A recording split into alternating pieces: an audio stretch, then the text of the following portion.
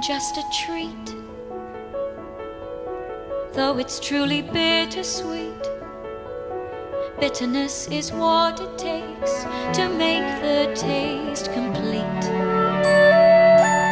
Dark or milk or